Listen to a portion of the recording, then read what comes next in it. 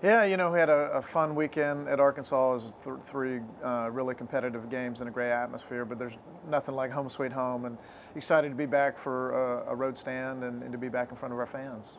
And you guys have had a lot of success in the midweek. How do you keep that trend going on Tuesday?